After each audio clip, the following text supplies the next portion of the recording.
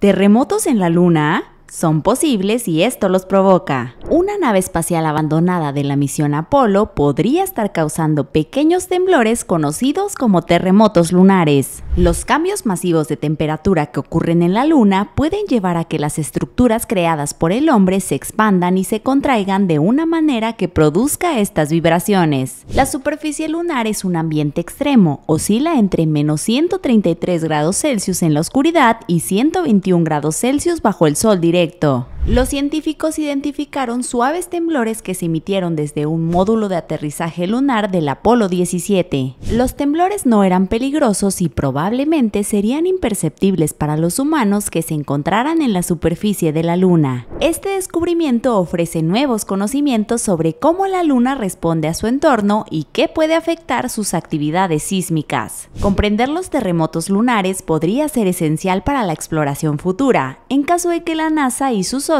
construyan un puesto avanzado permanente en su superficie.